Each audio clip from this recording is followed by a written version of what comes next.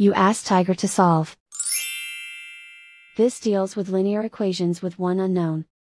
The final result is x equals 10. Let's solve it step by step. Simplify the expression. Expand the parentheses. Multiply the coefficients. Simplify the arithmetic. Expand the parentheses. Simplify the arithmetic.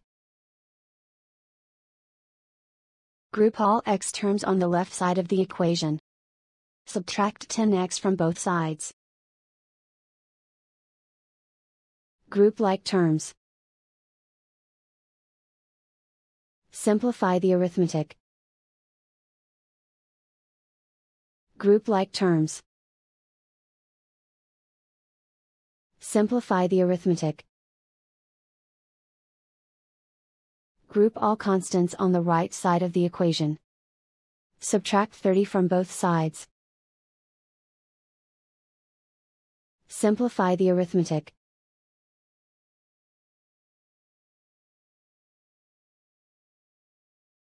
Isolate the x.